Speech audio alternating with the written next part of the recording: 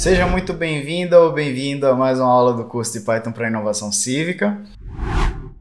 Agora, como a gente mencionou na aula passada, vamos falar da aba de Network do, das ferramentas de desenvolvimento do Chrome, que é aquela aba importante para a gente ver como é que funcionam as requisições do site.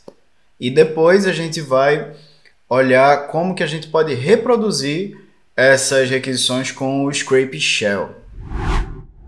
Vamos pular já para o navegador e ver como é que essas requisições são analisadas? Para a gente analisar as requisições, primeiro a gente vai ter que abrir a aba de Network. Vamos lá. Abrir as ferramentas de desenvolvimento do Chrome, já está aqui. Importante, a gente tem que configurar algumas coisas. Esses campos aqui fazem com que a gente não perca as requisições em qualquer navegação que a gente fizer. E aqui a gente quer desabilitar o cache, para que mesmo que o navegador já tenha algum arquivo, a gente faça a requisição e não perca nada. A gente quer ver tudo como é feito, como seria feito no Scrape. Aqui a gente vai analisar, quer dizer, vai ativar essa, esse campo que faz com que quando a gente clique num link e ele abra uma nova, uma nova aba, essa nova aba já vai abrir com as ferramentas de desenvolvimento e com isso a gente vai conseguir analisar a requisição que aquele link que gerou aquele link, que pegou aquele link. Então, se a gente não tivesse isso, caso a gente clicasse num documento e ele abrisse na nova aba, a gente perderia essa requisição e não conseguiria analisar. Então, vamos voltar aqui para a aba de Network e abrir a, abrir a página. Essa página faz muitas requisições, tem muitos documentos, tem CSS, JavaScript, imagens. Então, a gente pode filtrar isso daqui para facilitar a análise, beleza? Vamos filtrar primeiro por doc. Doc normalmente são os, as requisições para arquivos estilo HTML, XML, o normal que a gente está esperando. Mas aqui tam, mas também é geralmente interessante segurar Ctrl e apertar isso daqui para selecionar os dois, esses dois campos. Esse segundo campo normalmente são requisições feitas dinamicamente no meio da página e no meio do carregamento da página, normalmente algumas coisas requisitadas por JavaScript. Aqui a gente vai ver que tem essa primeira requisição e vamos abrir essa, abrir essa aba, aba, abrir a aba headers, porque essa aba tem os cabeçalhos da, do HTTP que foi feito, né? E aqui a gente vê que tem a request para a URL original que a gente acessou. É um get, então imaginamos que isso daqui seria a quando a gente clicou enter foi feita essa requisição.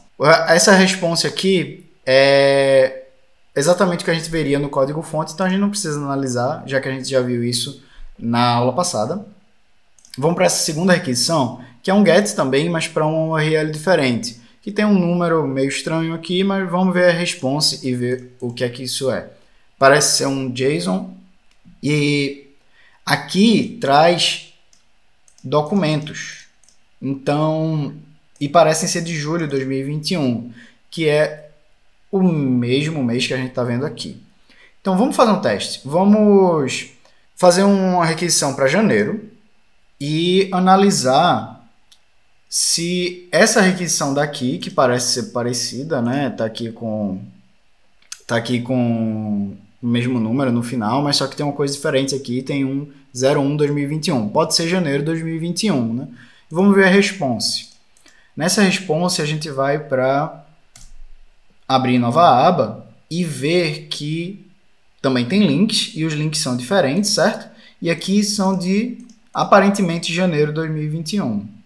Vamos pegar esse último, que é 30 de janeiro, e vamos pesquisar na, no inspetor de elementos. A gente pega aqui Ctrl F e o link deveria ser igual ao desse documento daqui, certo?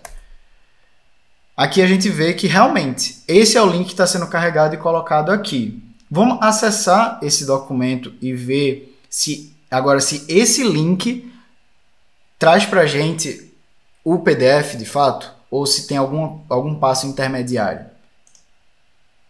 A gente clica aqui e tá vendo como é importante já abrir, porque senão essa requisição não, não, teria, não estaria aqui. E com isso a gente pega aqui o, essa requisição que a gente vê a gente pode comparar e ver que é a mesma requisição que estava ali, não é?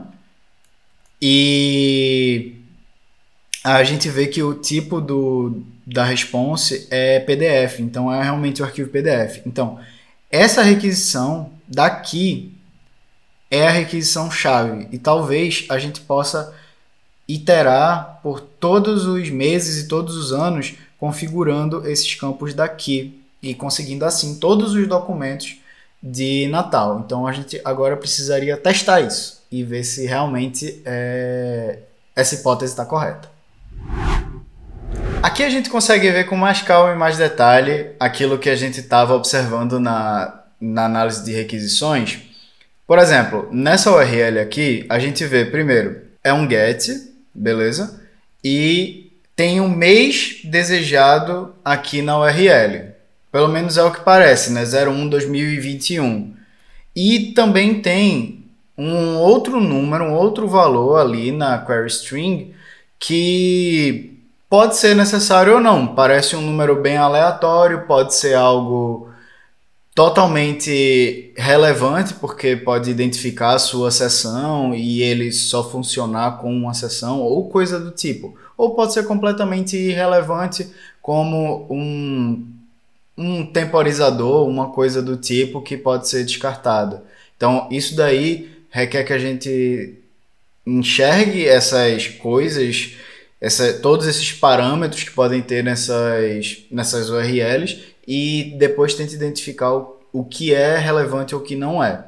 O resto da URL parece bem fixo, bem comum, né? Então, esses são os pontos mais relevantes dessa URL. E aqui a gente consegue ver com mais detalhes aquela resposta que a gente estava vendo ali na análise e pode ver que as URLs que estão aqui são idênticas às que a gente estava vendo na na aula passada, no inspetor de elementos. Então, essa requisição é chave para a gente pegar essas URLs. A gente não necessariamente precisa acessar aquele, aquele endereço que o navegador acessa inicialmente e renderiza para a gente. A gente pode tentar acessar direto esses endereços que, que a gente viu dessas requisições e já pegar os links para os documentos.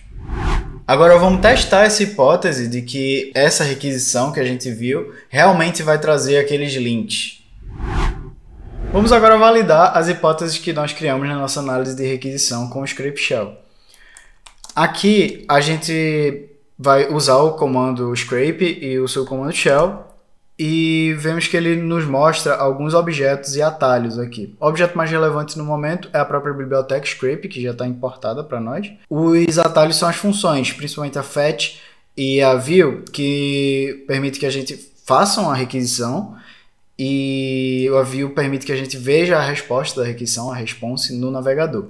Então, vamos criar uma URL que vai ser aquela que a gente viu lá na análise de requisição, só que sem aquele número no final, já para a gente validar se é realmente necessário ou não. E agora vamos instanciar uma, uma request. Como é um get e o objeto request, a, a classe request por padrão é, faz um get, então a gente só precisa configurar isso e dar a URL para essa request. E a gente vai usar o fetch agora na requisição que a gente criou.